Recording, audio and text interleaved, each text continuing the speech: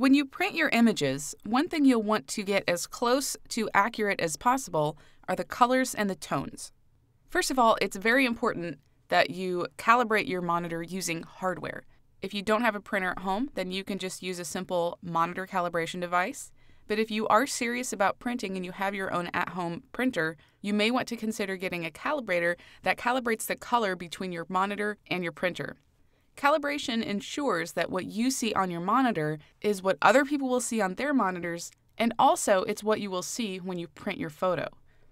In the print module, when you are setting up your print job, there's a color management section that allows you to set your profile.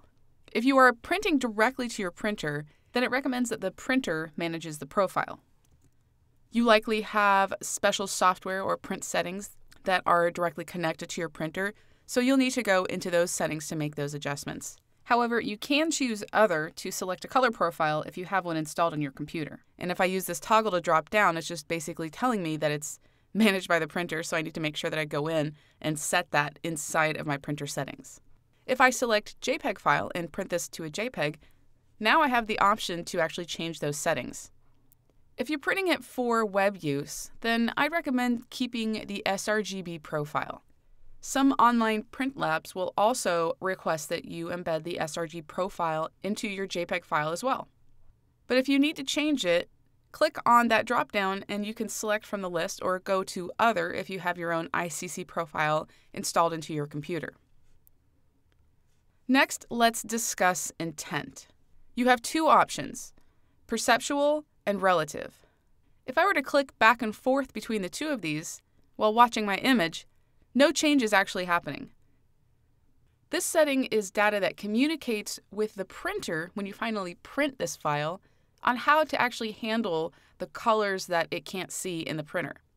If you were to select relative, then all of the colors, let's say the oversaturated colors, that cannot be produced in the printer are printed at the most similar color that the printer can reproduce. This may lead to all of the similar colors in gradients, for example, to be printed as the same color, with no graduation or different shades of those colors. Perceptual, on the other hand, tries to keep those shades the same, but the colors may be less saturated as a consequence. And last, we have the print adjustment. If you were to check that box and start scrolling, the photo is not going to make any changes. You will want to use this setting if you printed a photo, but your printer or whatever printer you're using is printing it too dark, too light, or too flat.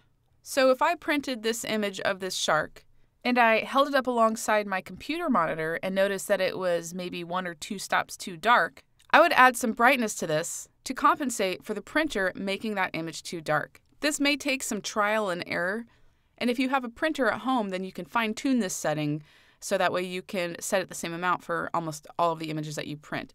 And by the way, if you were to push the brightness up, and I'll go ahead and just push it all the way to 100 for example purposes, and print it as a JPEG file, you will see a change in your photograph when you actually print this to file. And I'll show you real quickly what that looks like. So I'll click print a file, and I'll just give this a name.